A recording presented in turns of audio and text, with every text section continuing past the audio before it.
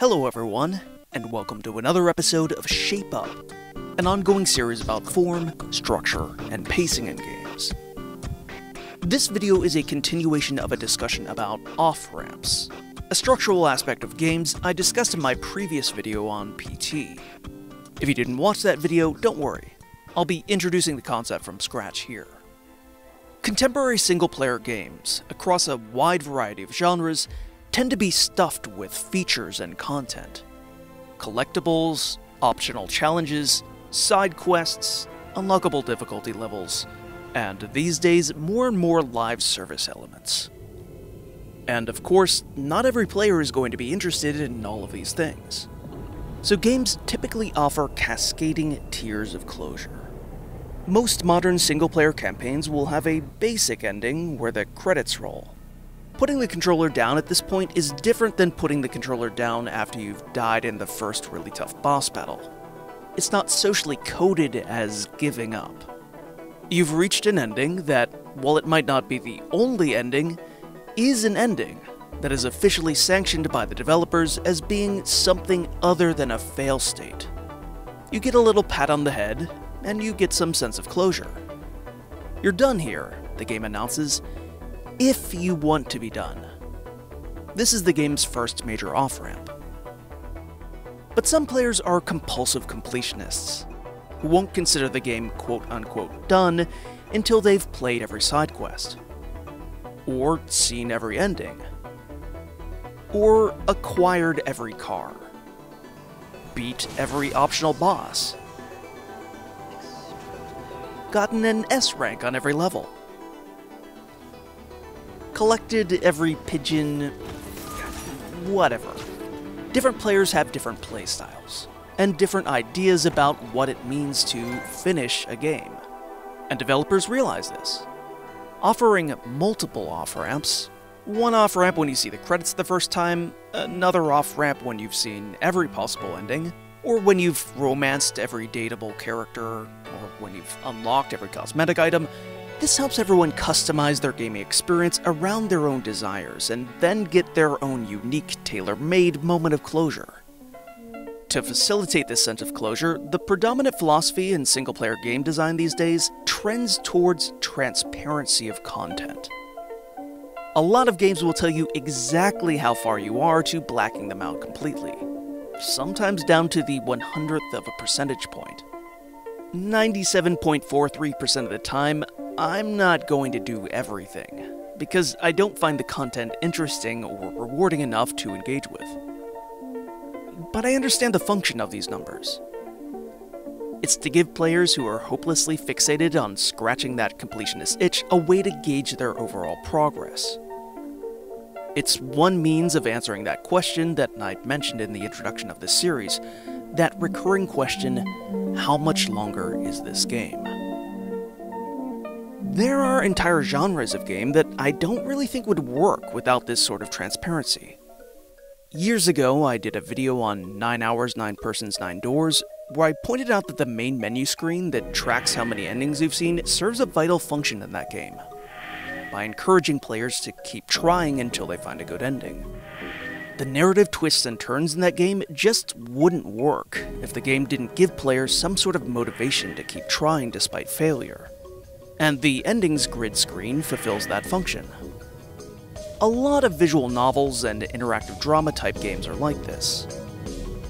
These games typically don't offer much in terms of traditional gameplay challenges, Instead, they're all about narrative exploration.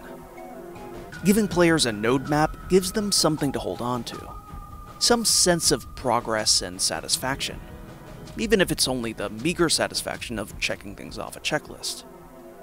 So, transparency makes sense in a lot of cases. It makes sense in 999, and I wouldn't want to live in a world where that game and the subsequent Zero Escape games didn't exist. And in the first video in this series, I praised the menu of the game Vignettes, precisely because it provides clarity of scope, warding off the boredom that can arrive if exploration is too freeform and unstructured. That said, every aesthetic technique has its place, and there are also games that are compelling to play and keep playing precisely because they aren't transparent about how much content they have, that toy with and problematize their players' completionist impulses. The Stanley Parable, for instance, engages in a kind of asymmetrical warfare. It tracks your movements carefully so as to provide unique dialogue for many different behaviors. Stanley was in such a rush to get through the story as quickly as possible, he didn't even have a single minute to just let the narrator talk. And yet it steadfastly refuses to let you track it. It doesn't provide an in game flowchart of endings. It doesn't give you a percentage completion screen. Even its achievements don't give you a good sense of what you have and haven't seen yet. Instead, they're all weird and jokey. The Stanley Parable can't outright tell its players the numerator and denominator of the endings they've unlocked, because, as the loading screen says, the end is never the end, is never the end, is never the end. Playing the Stanley Parable is engaging and fun precisely because it doesn't feel like you're just going down a checklist. There's still a little excitement there, even playing it all these years later, when the internet is full of fan made flowcharts, there's still the feeling that you could boot it up and discover a new surprise, purely by accident. Over the course of the rest of this video, I'm going to discuss two games that are unusually dedicated to interrogating their players' desire for closure. These games understand the expectations about off ramps that players have formed playing other narrative based games and visual novels, and they deliberately subvert them. They're also both about time loops, which I don't think is incidental. Fair warning that because this video is an analysis of how these games structure the search for an ending and players' ultimate decisions of when to stop playing, I will, of course, be massively spoiling them.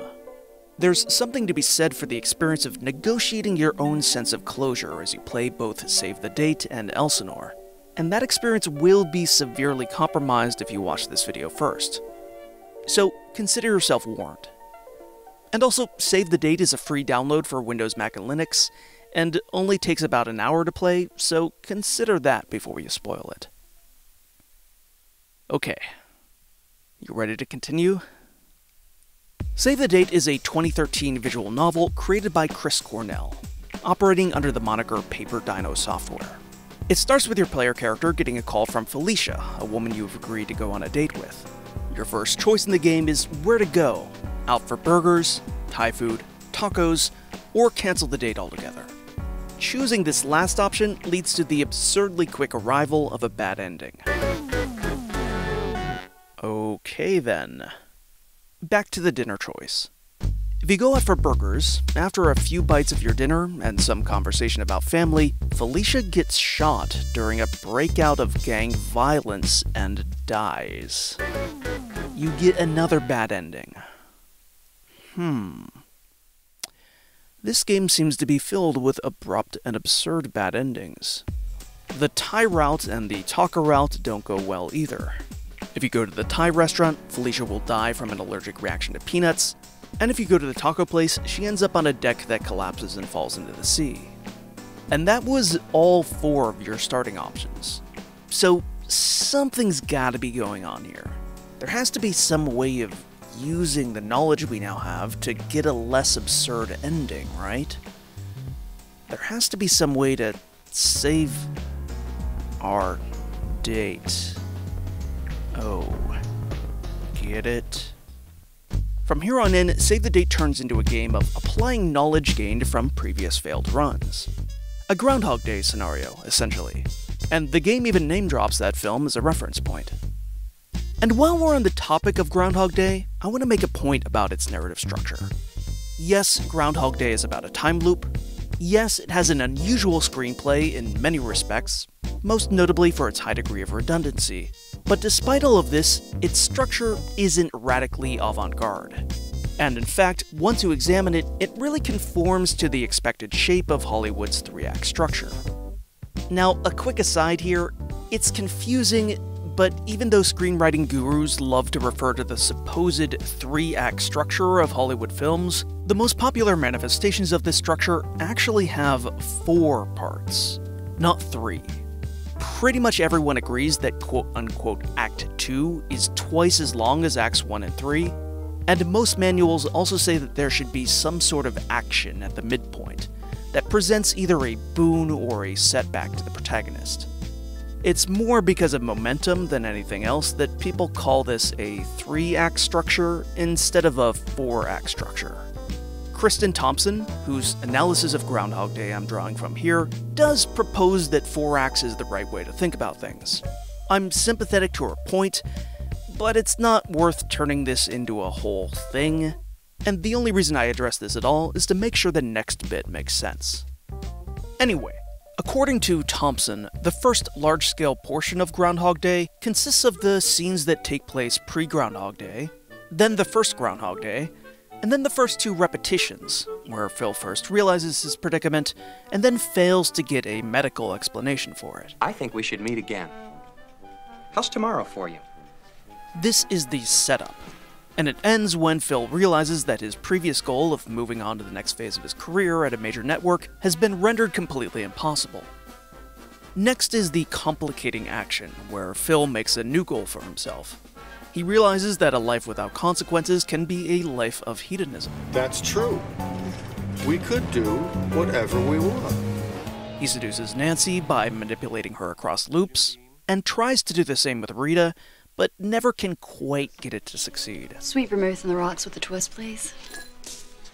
Increasingly desperate, he kills Punxsutawney Phil and himself multiple times. Third comes the development. Phil changes his goal again, and now tries to better himself, live a perfect day, and become Rita's ideal man, rather than simply tricking her. Finally, we have the climax slash denouement, the final perfect Groundhog Day, and Phil's escape from the time loop. There you go. Many loops, but four large scale parts, and a nice clean character arc, signified by Phil's shifting goals and we can perform a similar large-scale segmentation of Save the Date. Sure, everyone's playthrough is going to differ in the exact order of things tried and retried, but as a whole, the game is structured around a series of tactics that present themselves before exhausting their utility. So first, players will try all three restaurants, and we've already seen how that goes. From here, there are two alternate tactics that you can discover as possible ways forward. One is to warn Felicia about her death during a restaurant scenario via new dialogue that opens up once you've seen her die there once. This new dialogue option appears in each one of the scenarios, and if you select it, you postpone her death a little longer. But she'll still die in another way moments later in all three restaurants. So that tactic's a dead end. Then there's the other tactic. Once you've tried all three restaurants at least once, the very first decision point changes.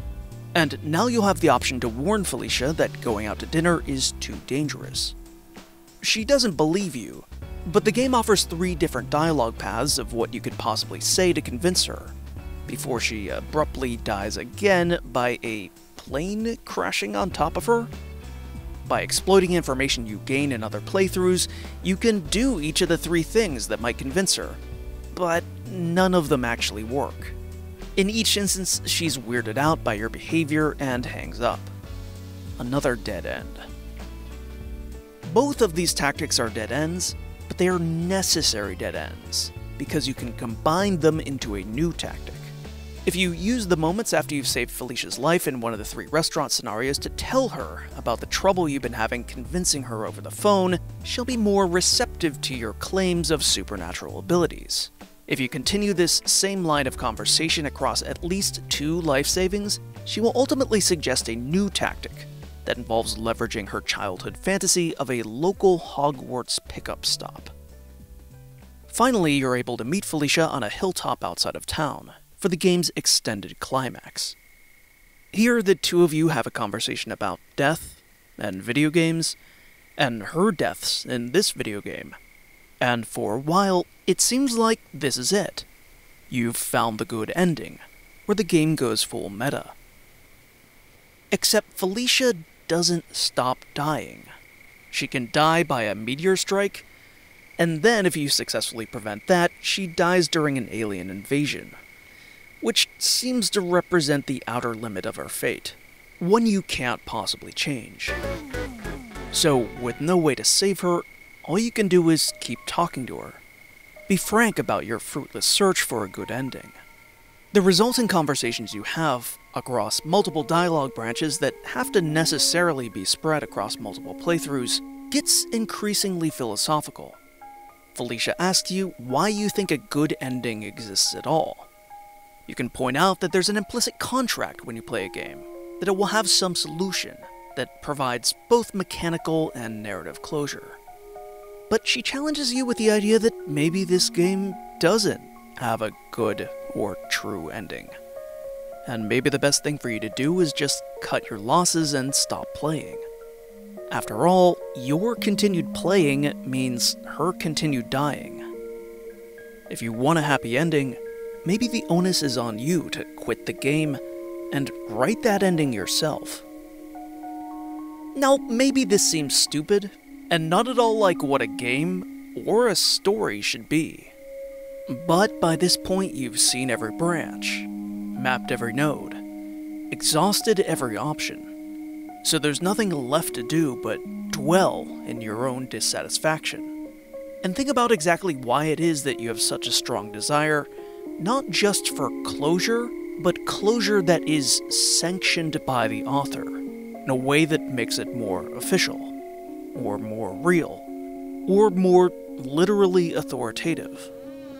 Why is it that unlocking a particular good or true ending gives us a sense of accomplishment? Wouldn't we get a deeper, more gratifying sense of accomplishment out of undertaking a creative task? Like writing our own story? On the one hand, I want to praise Save the Date for being rich and humanistic and prodding its players to consider the value of creative work, including the value of interpretation as creative work. But on the other hand, playing it is also unsettling, because it reveals just how accustomed I have become to the cheap satisfaction of closure.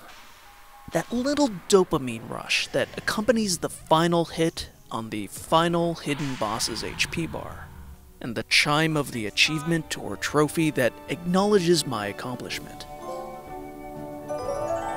The percentage counter ticks up one last time, and meanwhile, I'm one tick closer to the grave.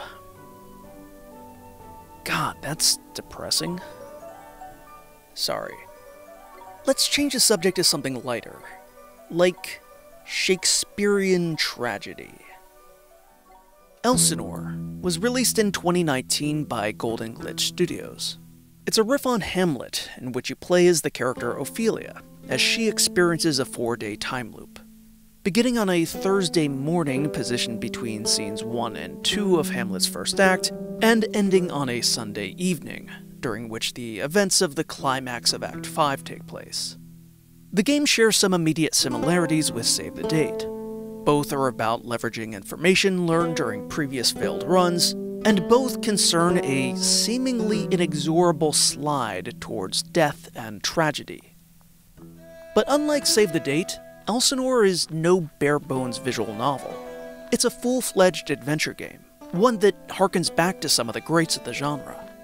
In particular, its emphasis on following characters around, learning their schedules, and spying on them recalls The Last Express. But it's also not content to sit on its laurels. It boasts an ambitious and fascinating story engine system which replaces the item inventory of traditional adventure games with a storehouse of information and rumors, and swaps traditional locked doors with characters whose actions can be altered by changing their beliefs about the world. Much like I did with Save the Date, I want to start off my discussion of Elsinore by revealing the large scale segmentation that lurks behind its many, many, many loops. Your first run through Elsinore is going to track exactly onto the plot of Hamlet. And the first two characters that die in Hamlet are Polonius, your father, and Ophelia, your character. In Elsinore, Ophelia's death is retconned not as a suicide, but as a murder by a conspirator in league with Fortinbras attempting to sow chaos among the court, that is subsequently disguised as suicide. Once Ophelia dies, she is sent back to Thursday morning and begins contemplating her predicament. Your first, most proximal goals are going to be preventing your own death and preventing your father's death. Preventing Ophelia's death is a matter of espionage, spying on everyone to discover who the assassin is, so that you can have them locked up on a subsequent run. Preventing Polonius's death is a matter of playing with the game's social systems, finding out which bit of information, dropped to whom, at what time, will prevent him and Hamlet from being in Gertrude's room at the same time. There are several ways to accomplish this, with different downstream effects. Once you've saved yourself and Polonius, you're able to witness the rest of the events of the play, all the way to Sunday evening. And you can also start rejiggering aspects to achieve different outcomes. Get Claudius to confess to his brother's murder, and Hamlet will stab him in the back at the earliest convenience, without wasting time skulking around and feigning madness. Then you can become queen and rule by his side, for a few moments at least, until Fortinbras invades. Pretty quickly during experimentation, it becomes clear that Fortinbras' invasion and coup puts a hard limit on your narrative horizons. So maybe your next goal should be snipping it in the bud somehow. This is easier said than done, however, because even if captured, Fortinbras will escape and find a way to lay siege to Elsinore if even a single character dies. So, in order to stop Fortinbras' coup, you'll need to keep everyone alive for the entire four days of the time loop. Which is hard, because, well, it's Hamlet. Actually keeping everyone alive is a goal that requires a lot of narrative experimentation, seeing radically different routes play out to their conclusion as a way of gaining information. And as you do this, you're bound to witness some other events that suggest that a supernatural solution might be the more promising way out of your predicament. You're introduced to King Hamlet's ghost, who tells you to meet him again on the first night, revealing that he, too, is experiencing a time loop. The ghost requests that you find a diary to help him restore his memory, and reading that diary, along with other documents, reveals that others in the royal court, including not only the king, but also the former Queen Astrid's servant Simona, have previously experienced time loops. All of this suggests that you should track down a book from Simona, alternately called the Book of Fates or the Hand of Dionysus. Once it's in your possession, the character Quince, the player who puts on the play that's the thing that catches the conscience of the king, reveals that he's an extra dimensional being who revels in the desperate machinations of tragic characters as his entertainment. But you have the book he wants. And from here, you can team up with the Ghost and Hamlet and use the Act 3 play within a play to reveal Quince's treachery before the whole court, and then kill him. Which you do.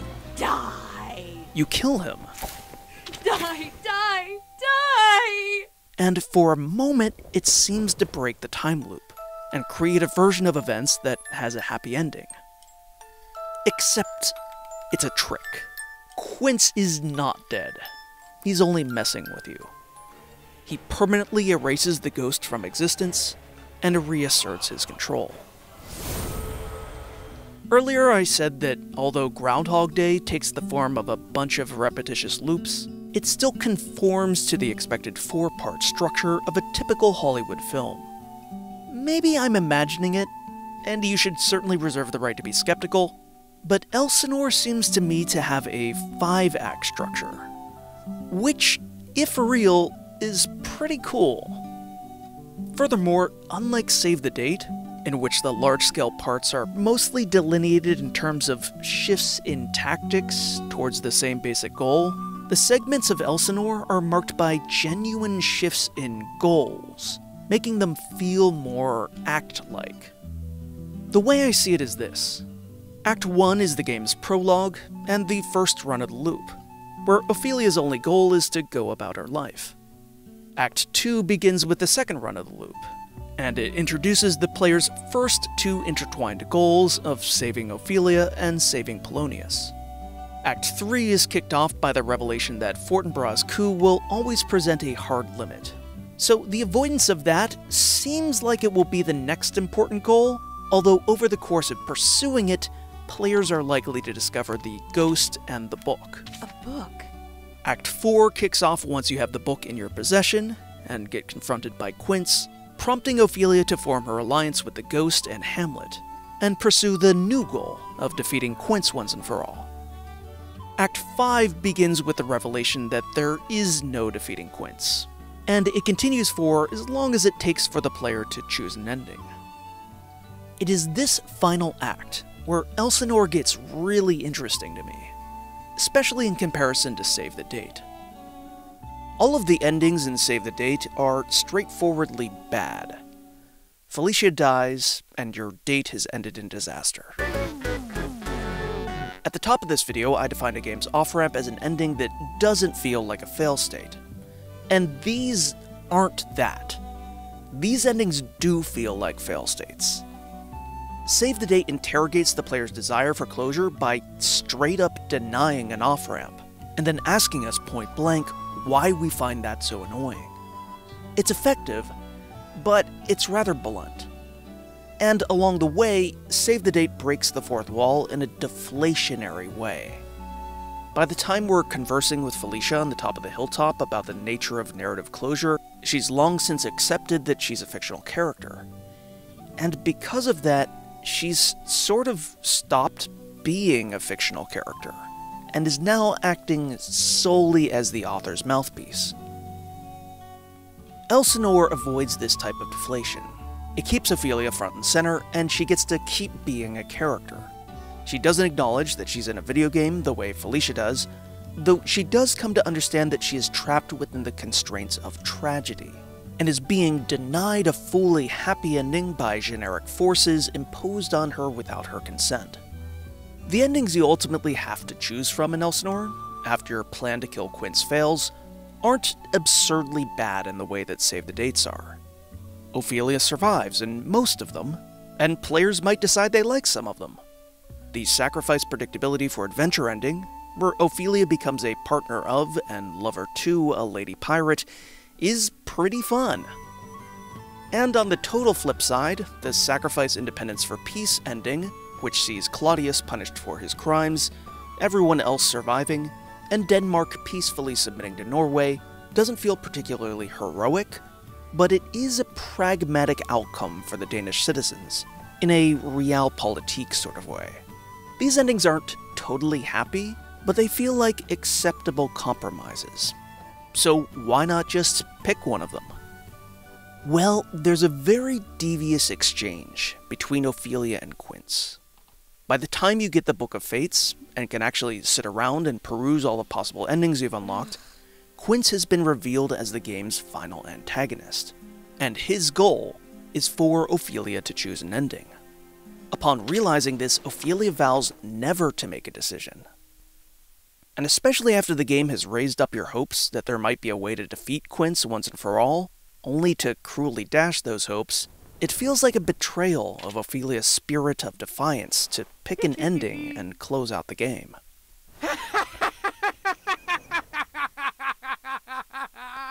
This, to me, is a richer interrogation of closure than simply denying an off ramp, as Save the Date does.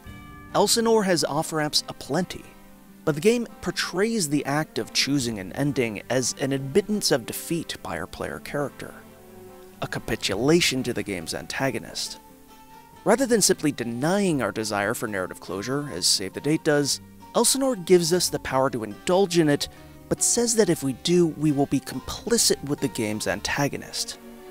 To take any of the game's possible off ramps would be an act of weakness. I said early on in this video that I didn't think it was incidental that both Save the Date and Elsinore are about time loops. And to sew up this point, I want to return to Groundhog Day one last time. The philosopher Stanley Cavell was a big fan of Groundhog Day and he read the film as the confluence of two different philosophical lineages. On the one hand, you have Nietzsche and his idea of eternal return. But then, on the other hand, you have a strain of moral perfectionism, which Cavell attributes to the writings of Ralph Waldo Emerson. Phil Connors has to live the same day over and over again, but he can change his behavior as he relives that day. He can strive to better himself, to cultivate a new version of himself, to get closer to the perfect version of himself, one step at a time. Not bad, Mr. Connors. You say this is your first lesson? There is an oft remarked upon similarity between Groundhog Day and the experience of playing video games. When we play games, we too are trying and trying and trying again, and improving our run with each subsequent go. Games share this kind of perfectionist tendency with Groundhog Day. And this is especially true, I think, of games that are explicitly about time travel, or about time loops, or games in which the central mechanic is tweaking character decision points to see what happens downstream. The reason Save the Date and Elsinore dug their hooks into me so deeply the first time I played them was that pretty much every other game I had ever played that was about moving back and forth in time and manipulating events did have a true ending. These other games rewarded players for putting in the work, for exploring the narrative landscape to its fullest potential, seeing how every decision played out, exhausting every dialogue tree, tediously tracking down every dead end, by withholding their most revelatory and cathartic ending from everyone but those players that did the labor. These games had a final off ramp, where you know you're finally done because the game comes out and tells you you're special. There's a moment in Save the Date where Felicia analogizes the game she's in to Groundhog Day. She points out that, much like Bill Murray's character undergoes a shift in Groundhog Day, from attempting to memorize his way into Rita's pants to genuinely trying to improve himself, that maybe you also need to shift your attitude. That is, stop being the type of person who obsessively searches for a good ending, and put the game down. This is a clever moment, but even though it disrupts the player's expectations, it still espouses that perfectionist self improvement framework. Elsinore, I think, goes further, makes a cleaner break from the Groundhog Day tradition. It sloughs off that Emersonian influence, and goes straight to Nietzsche's idea of eternal return, which is not about self improvement in the slightest. In Nietzsche's conception of the idea, there is no change over subsequent cycles, no development, no putting in the work to make everything perfect. There is only the awareness that this has happened before, and it will happen again, that nothing is ever new. Nietzsche's point is that it would take enormous moral courage to embrace this awareness without shattering. And this is just what Ophelia is prepared to do in Elsinore. She would rather live in an eternally suspended state, repeating the same four days forever, than consent to a tragic ending for herself and her friends. It's a much rarer conclusion to a time loop narrative, in any medium, and I respect Elsinore enormously for it. That's it for this episode of Shape Up.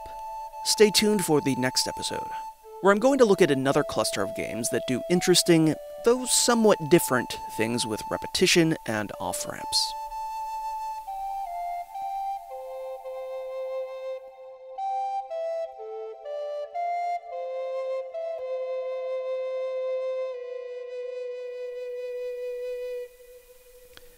Alright. Are the casual viewers gone? Did they leave during the credits? Can we actually talk about these games' hidden true endings now? So if you open up the directory of Save the Date, you can hack the game. Just like any good hacker, just look for the plaintext file named i underscore m underscore a underscore hacker.rpy and set the hacker value from false to true. If you do this, you'll see the true happy ending of Save the Date, where you invite Felicia to an awesome dinner in your floating sky castle. And. Hmm. This is definitely a happy ending, but. I don't know. Feels kinda hollow. Like the game is mocking me. Okay, so the hidden true ending for Elsinore. If you pick one of the 11 possible endings and watch the end credits, but then reopen the game, and say you want to pick another ending, the ending you previously picked will be destroyed. Do this four times with four different endings, and finally Quince will approach you and begin to treat you as his equal. He gives you the exeunt all dialogue to force characters to leave the stage. That is, you can now kill all of your friends and family. Quince challenges you to kill everyone in Elsinore by Friday evening. And despite your newfound godlike powers, it's still a surprisingly tricky task. Certain characters will rat you out, or else kill you immediately if they see you using it. So you have to take advantage of moments when your prey is isolated. From here on in, the game becomes a very different sort of puzzle. Whereas before you were learning people's routines to spy on them and gain information, now you're finding windows where you can murder them without witnesses, even as the security around Elsinore grows tighter and tighter with each passing death. Ophelia changes as well. In the early going, she's horrified by her power, insists that it's evil, and that she shouldn't use it. But the more you crack the puzzle, the more insistent she gets about finding a way to win the scenario. I'll truly have won then. And by a certain point, she's cackling as she drains the life from people, Die. having recognized them as nothing but puppets or playthings. Ophelia. If you successfully get Ophelia to kill everyone, she will join Quince in his interdimensional travel, and the two of you will wreak tragedy on thousands more. Only now is the game well and truly over.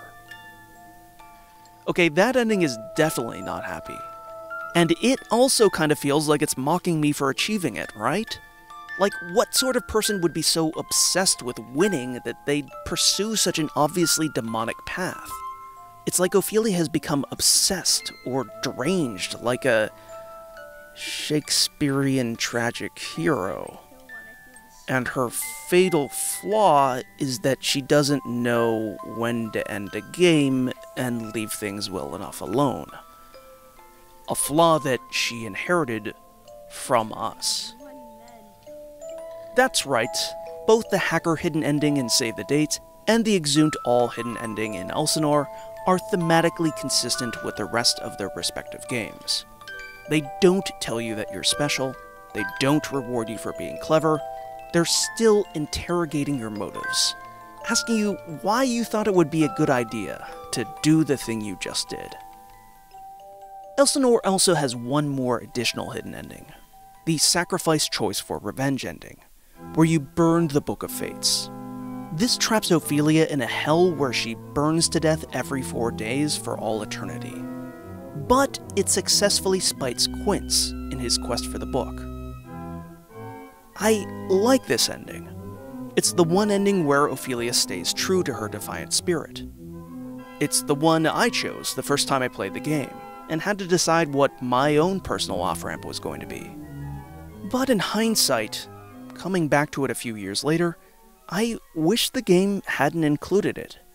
It's a little too have your cake and eat it too. You get to respect Ophelia's wishes not to choose an ending, but then you still get to see an ending. Get that sense of closure. The sense of satisfaction players get from seeing the credits roll feels anathema to Ophelia's own predicament. In fact, I kinda wish the game had